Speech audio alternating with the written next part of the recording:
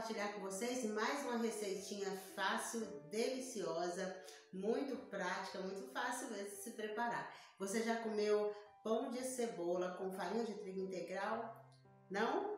Então você precisa conferir esse vídeo, queridos, porque fica mesmo uma delícia, vale muito a pena.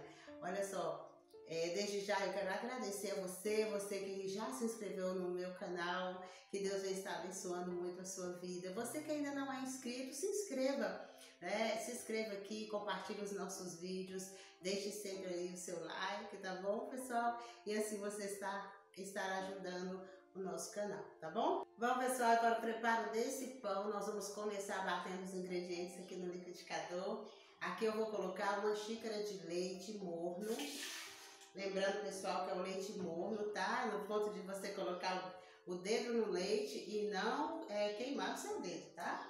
E vou colocar dois ovos inteiros, duas colheres de sopa de açúcar, uma colher de sopa de, ou melhor, uma colher de chá de sal. Vou colocar 100 ml de óleo cerca de meia xícara. E aqui eu vou adicionar uma cebola picada, gente. Uma cebola pequena. Uma cebola mais ou menos nesse tamanho aqui. Pequena, tá? E aqui, gente, eu vou bater, né? Ligar o liquidificador aqui, bater até que essa cebola triture bem, fique bem trituradinha mesmo, tá bom? Agora, pessoal, aqui em uma vasilha eu vou adicionar 10 gramas de fermento, fermento para pão, fermento seco. Vou colocar o, o meu líquido aqui já batido. Olha isso, gente. Vou dar uma misturada agora. Olha só.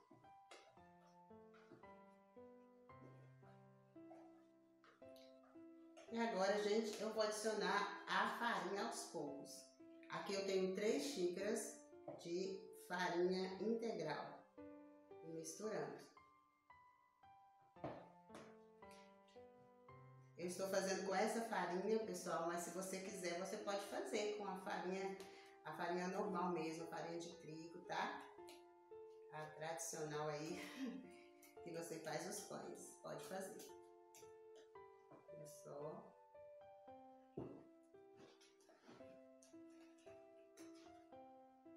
A xícara que eu uso para essa receita é de 200 ml. Então, gente, eu vou usar duas xícaras é, e meia, quase três xícaras. Não vou colocar toda a farinha não, tá? Mesmo porque a farinha integral ela já fica um pouco mais pesadinha, né? Diferente da outra farinha. Ficou só um pouquinho mesmo, um pouquinho mesmo. Acho que umas duas colheres né, de sopa ali sobrando, tá? Só. Olha isso, gente. Tá um cheirinho delicioso aqui de cebola. Eu amo pão de cebola, gente. Amo, gosto muito. Sempre, que, sempre faço aqui na minha casa.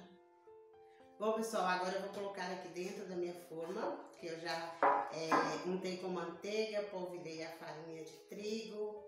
Vou colocar aqui dentro. Olha só.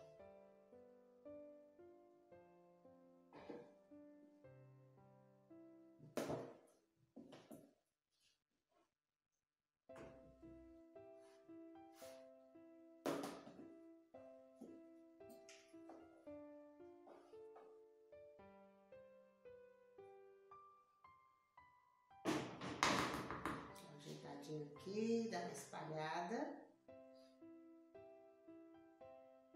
E é isso, pessoal. Agora é só esperar, né?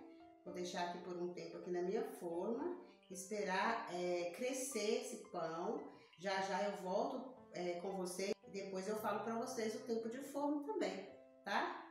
Quanto tempo durou para assar.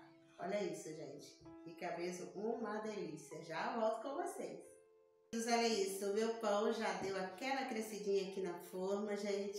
Agora eu vou levar para assar, tá? E depois de assado eu volto e mostro para vocês como ficou. Bom, pessoal, aqui está o meu pãozinho de forma, já desenformei, esperei esfriar Passei até uma faquinha, né, ao redor da forma para desenformar. E assou aqui meu forno por 40 minutinhos, tá bom?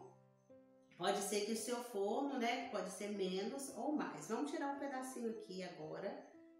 Olha, gente, que fofura. A faca entra assim, ó, com facilidade. Olha só que fofura, gente, desse pão. Olha isso.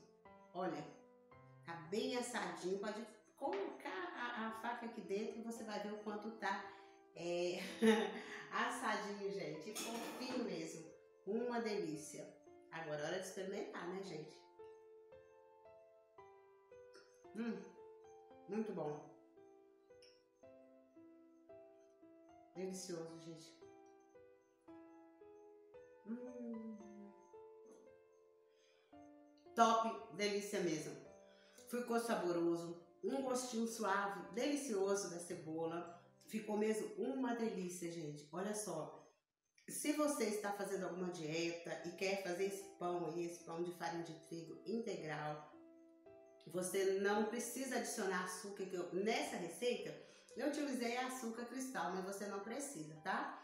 Você pode usar um outro açúcar da sua preferência, você pode usar o azeite da sua preferência também, né? E a quantidade de sal você vai provando e você vai gostar. Pra mim, esse aqui ficou excelente, gente. Um sabor delicioso mesmo. Muito gostoso para você tomar também com cafezinho, tá bom? Olha, querido, se você gostou do vídeo de hoje, deixe seu like, se inscreva no canal se você ainda não é inscrito, compartilhe os vídeos, ative o sininho para você receber sempre notificações sempre que nós postarmos um vídeo aqui nesse canal Top Delícias, tá bom, pessoal? Olha, fiquem todos com Deus e até o próximo vídeo.